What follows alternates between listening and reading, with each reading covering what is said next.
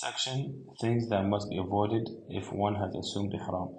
During ihram, one must avoid 1. Removing hair, 2. Clipping nails, 3. Wearing stitched clothes in the case of men, 4. Covering the head in the case of men, 5. Applying fragrance for both men and women, 6. Killing any hunted wild land animals that is permissible to eat, instructing others to do so, or aiding others in their killing. 7. The gravest prohibition during ihram is sexual intercourse. This is because its prohibition is severe. It nullifies one's hajj and obligates the pilgrim to offer a camel as an expiation.